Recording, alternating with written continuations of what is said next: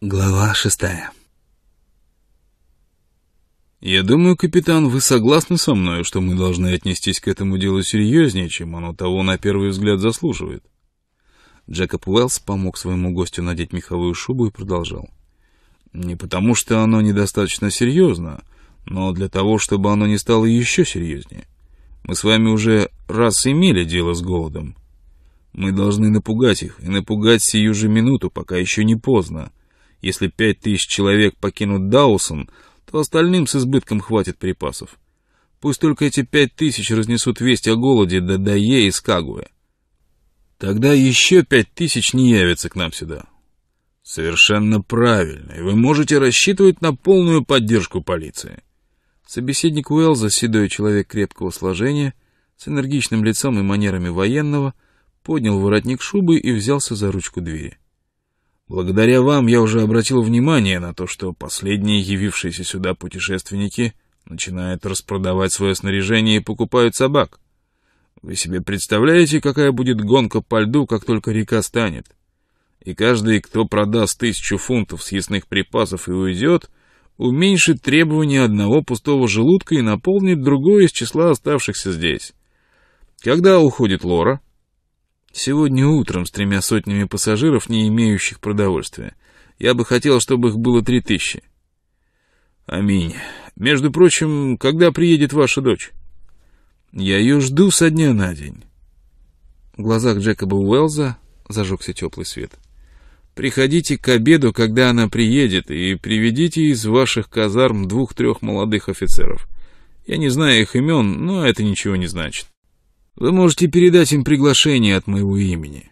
Я не поддерживаю связи с местным обществом, у меня нет на это времени, но мне хочется, чтобы моя дочка весело проводила время, ведь она жила все время в Лондоне и в Штатах, и здесь ей может показаться скучно. Вы согласны со мной?» Джекоб Уэллс закрыл за посетителем дверь, пододвинул свое кресло к камину и поставил ноги на каминную решетку. На мгновение в мерцающем свете камина перед ним встал образ молодой девушки, за ним образ красивой женщины англосаксонского типа. Дверь открылась. «Мистер Уэллс, мистер Фостер послал меня справиться, принимать ли ему ордера на склад». «Безусловно, мистер Смит, но только он должен уменьшать их наполовину. Если у кого-нибудь имеется на руках ордер на тысячу фунтов, вы давайте ему только пятьсот». Он закурил сигару и снова откинулся на спинку кресла. «Вас желает видеть капитан МакГрегор, сэр?» «Просите». Капитан МакГрегор вошел и остановился подле кресла своего хозяина. Тяжелая рука нового света с детства легла на плечи шотландца.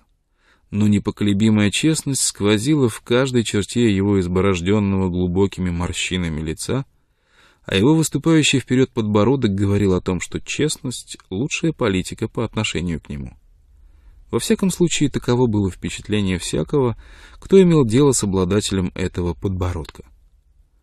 Подтверждалось это и его носом, сломанным и несколько свернутым на сторону, и длинным рубцом, который тянулся через весь его лоб и скрывался в седых волосах. «Мы снимемся с якоря через час, сэр. Я пришел за последними распоряжениями». «Хорошо», — Джекоб Уэллс повернул к нему свое кресло. «Капитан Макгрегор». «Да?» «Я на эту зиму имел для вас в виду другую работу. Но я передумал и назначил вас на Лору. Вы догадываетесь о причине моего решения?» Капитан МакГрегор переступил с ноги на ногу, и лукавая усмешка сверкнула в его глазах. «Вы предвидите затруднения?» — проворчал он и я не мог найти более подходящего человека, чем вы. Перед тем, как двинуться, вы получите от мистера Белли точные указания. Я вам скажу только одно. Если мы не сможем спугнуть отсюда достаточное количество людей, форт Юкон будет нуждаться в каждом фунте съестных припасов. Вы меня понимаете? Да. Вы не должны быть расточительны. Вы везете с собой 300 человек. Есть основания предполагать, что еще вдвое большее количество людей подойдет к вам по льду, как только станет река. Вам придется этой зимой кормить тысячу человек. Дайте им пайки, рабочие пайки, и смотрите за тем, чтобы они действительно работали. Пусть они заготавливают дрова по 6 долларов за штабель, и ставят их на берегу в таком месте, где могут причаливать пароходы. Кто не будет работать, тот не получит пайка. Вы меня понимаете? Да. Тысячи человек могут натворить больших безобразий, если они будут бездельничать. Мало ли что может быть. Наблюдайте за тем, чтобы они не грабили продовольственных ям. Если они это сделают, исполняйте ваш долг. Капитан мрачно кивнул. Его руки невольно сжались, а рубец на лбу побелел. Там во льду стоят пять пароходов. Укрепите их так, чтобы их не унесло и не поломало, когда весной тронется лед. И прежде всего снимите с них весь груз и сложите его в одну большую яму. Вам легче будет ее защищать, вы можете сделать ее вовсе неприступной. Отправьте человека на форт Бэр и попросите мистера Картера прислать вам трех своих служащих. Он обойдется без них. В Серкле нет никаких особенных дел. Сделайте по дороге остановку и возьмите на борт половину служащих мистера Бердвелла. Они вам понадобятся. Вам придется иметь дело с достаточным количеством хороших стрелков. Будьте непреклонны. Держите их с самого начала в страхе Божьем и помните, что тот, кто стреляет первым, чаще всего остается в выигрыше. И неусыпно следите за съестными припасами. И за револьверами этих бандитов, — проворчал капитан МакГрегор, закрывая за собой дверь. «Джон Мелтон, мистер Мелтон, сэр, вы можете принять его?» «Слушайте, Уэллс, что это значит?» Разгневанный Джон Мелтон вошел вслед за клерком и чуть не сбил его с ног. Он тыкал каким-то документом прямо в лицо председателю компании. «Прочтите, что здесь написано!» Джекоб Уэллс взглянул на документ и хладнокровно ответил. «Тысяча фунтов продовольствия». То же самое и я говорю, но кладовщик отрицает это. Он утверждает, что мне следует получить только 500 фунтов. И то, что он говорит, совершенно верно. Но документ выдан на тысячу фунтов, но на складе вы получите только 500. Разве это не ваша подпись? И Мелтон потряс документом перед самым носом собеседника. Моя? Так как же вы намерены поступить? Я дам вам 500 фунтов, а как вы намерены поступить?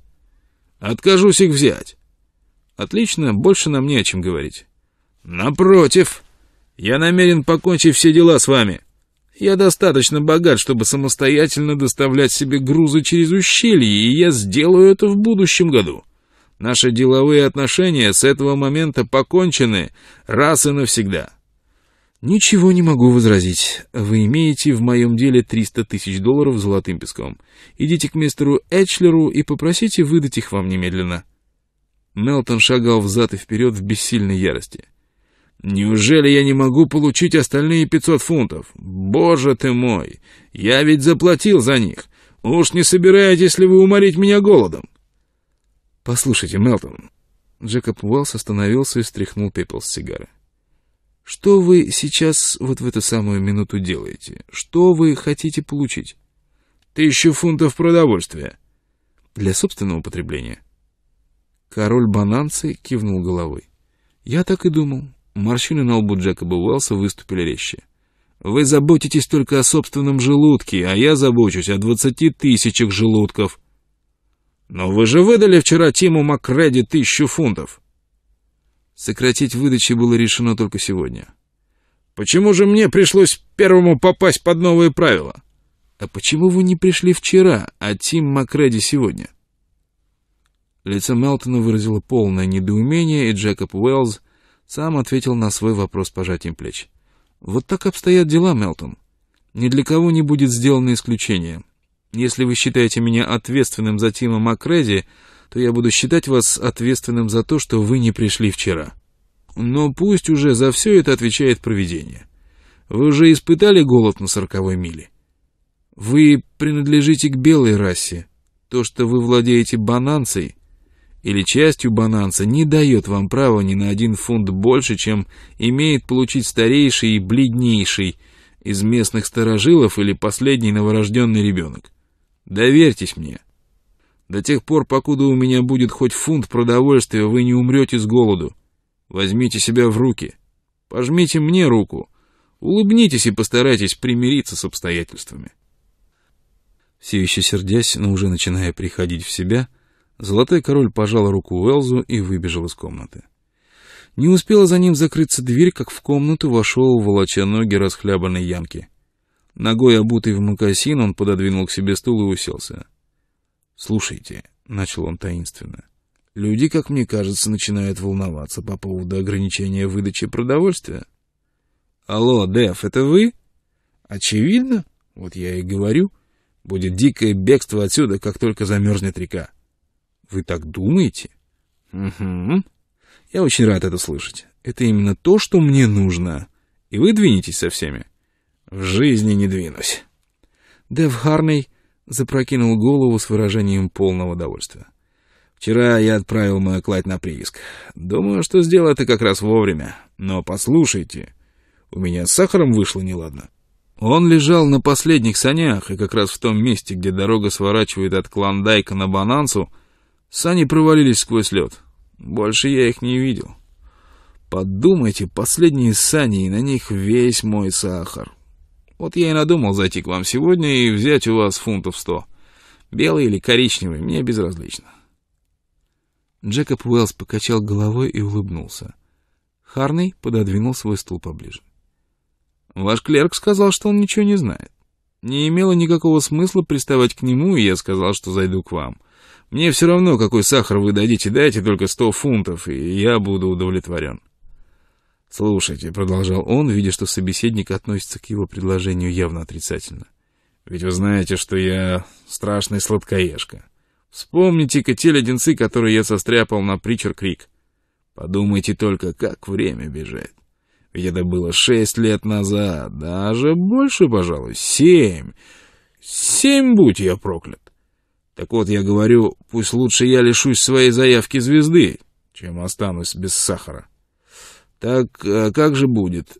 Я здесь с собаками. Не пойти ли нам на склад за сахаром? Блестящая мысль.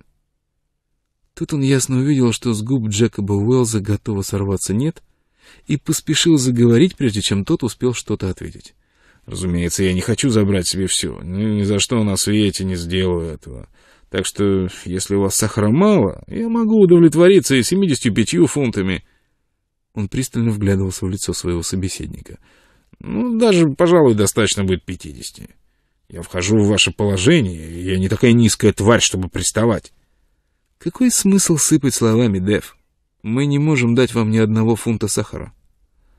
«Ну хорошо, ведь я и не хочу обирать других, а кроме того, принимая во внимание, что я имею дело с вами, Уэллс, я обойдусь и двадцатью пятью». «Ни одной унции». «Как?» Совсем не крошки? Ну-ну, не сердитесь, мы забудем, что я вас о чем-то просил. Я заверну к вам как-нибудь другой раз. До свидания. Послушайте. Он повернулся, наклонил голову на бок и, казалось, весь превратился в слух. Ведь это свисток Лоры. Она скоро отходит. Вы пойдете посмотреть, как она отваливает? Пойдемте вместе. Джекоб Уэллс надел медвежью шубу и рукавицы, и они прошли через контору на главный склад. Он был так обширен, что 200 человек-покупателей, стоявших у прилавков, были почти незаметны. У многих было пасмурное выражение лица, и кое-кто даже мрачно смотрел на председателя компании, когда последний проходил мимо. Приказчики продавали все, что угодно, за исключением продовольствия. А продовольствие-то именно и было в спросе. «Припрятали!» Сдувают цены. Будут голодные цены, брюзжал рудокоп с рыжей бородой. Джекоб Уэллс услышал эти слова, но не обратил на них никакого внимания. Он знал, что пока не уляжется паника, он много раз услышит подобные речи, и даже значительно худшие. Выйдя на боковую дорожку, он остановился, чтобы просмотреть объявления, которые обыкновенно вывешивались на боковой стене здания. Висели там объявления о пропаже, находке и продаже собак, но большую часть составляли объявления о продаже походного снаряжения. Наиболее робкие были уже напуганы. Снаряжение в 500 фунтов весом предлагалось по цене в 1 доллар за фунт, если в него не входила мука. Снаряжение с мукой расценивалось в полтора доллара за фунт. Джекоб Уэллс увидел, что Мелтон беседует с вновь прибывшим человеком, лицо которого было весьма озабочено — Довольная усмешка короля Бананцы свидетельствовала о том, что ему все-таки удалось наполнить доверху свою продовольственную яму. «Почему вы здесь не поищете сахара, Дэв?» — спросил Джейкоб Уэллс, указывая на объявление. Дэйв Харней с упреком посмотрел на него. «Напрасно вы думаете, что я не искал.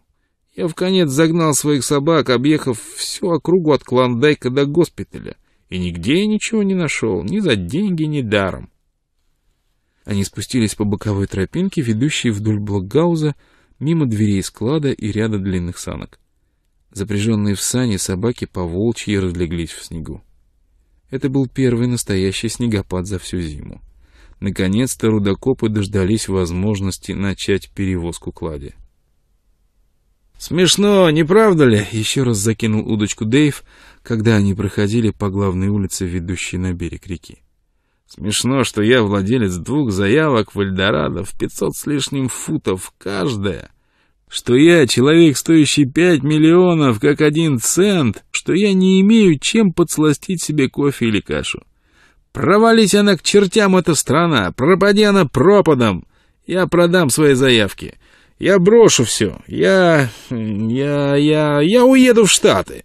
— О нет, вы этого не сделаете, — ответил Джекоб Уэллс. — Я от вас это и раньше слышал. Вы целый год питались исключительно мясом, когда торчали в верховье реки Стюарт, если память мне не изменяет.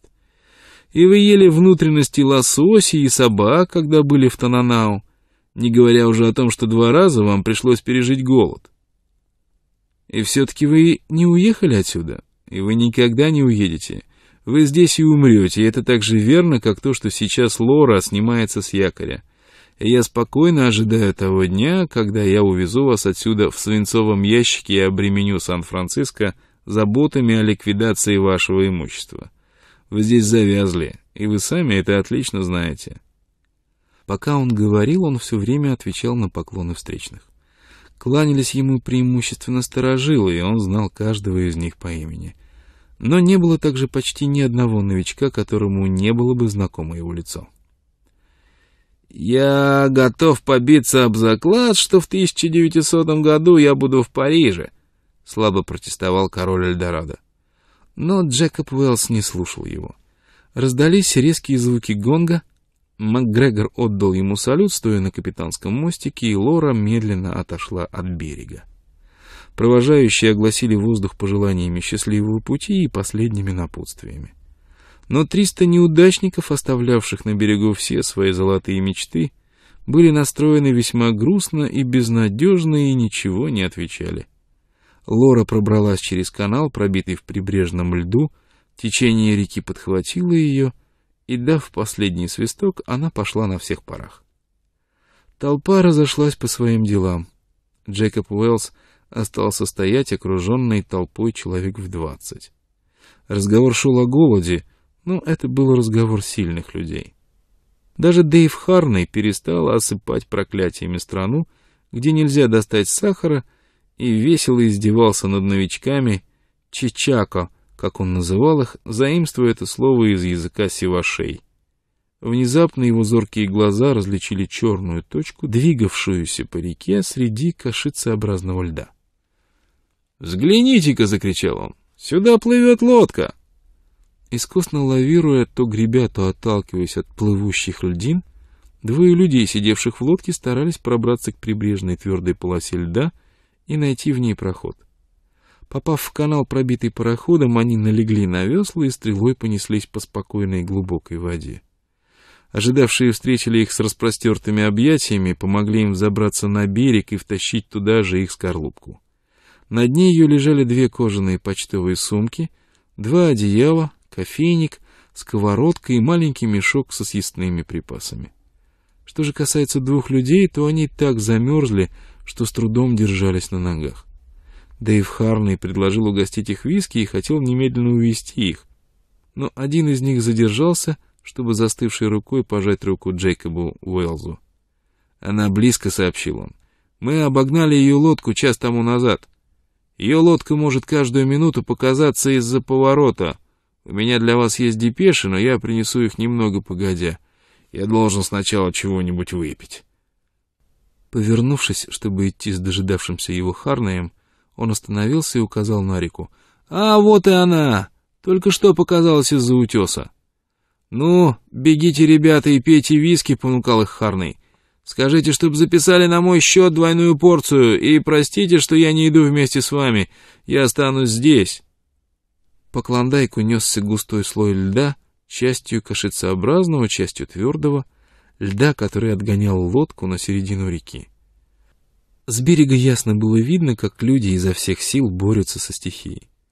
Четыре человека, стоя, направляли баграми лодку между наседавшими на них льдинами. На борту была установлена печь, и из ее трубы вился вслед за лодкой голубоватый дымок.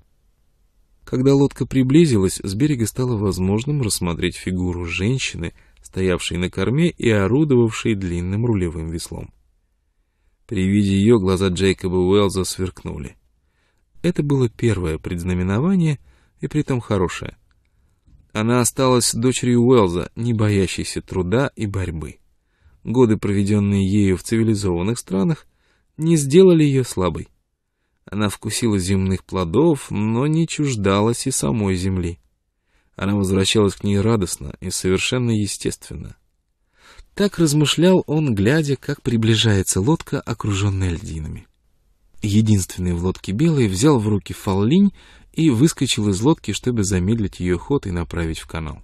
Но береговой лед, образовавшийся только накануне вечером, провалился под его тяжестью. Человек упал в воду. Под напором большой льдины нос лодки круто повернулся, так что упавший выплыл за кормой. Женщина быстро нагнулась и схватила его рукой за воротник. В то же мгновение раздался громкий и властный голос, приказывавший сидевшим на веслах индейцам грести обратными ударами. Продолжая держать над водой голову мужчины, она всем телом оперлась на рулевое весло и провела лодку в канал кормой вперед. Еще несколько взмахов весла, и лодка была у берега. Она передала щелкающего зубами человека Дэйву Харнею. Тот вытащил его из воды и немедленно погнал вслед за ребятами, привезшими почту. Фрона поднялась, щеки ее горели от быстрых движений. Джейкоб Уэллс стоял охваченный нерешительностью. Фрона была на расстоянии двух шагов от него, но между ними лежала бездна. Три года разлуки. Теперь ей двадцать лет, а было семнадцать, когда они расстались. Разница была огромная. Он никогда не думал, что она будет так велика. Он не знал, что ему делать. Заключить ли это сияющее юное создание в свои могучие объятия или просто взять ее за руку и помочь сойти на берег. Его колебание прошло незамеченным. Она сама быстро скользнула к нему и обняла его. Стоявшие наверху все как один отвернулись, пока они оба, держась за руки, не поднялись на берег. «Джентльмены, моя дочь!» На его лице была написана величайшая гордость. Фрона посмотрела на всех окружающих с дружелюбной улыбкой, и каждому почудилось, что ее глаза глянули именно на него.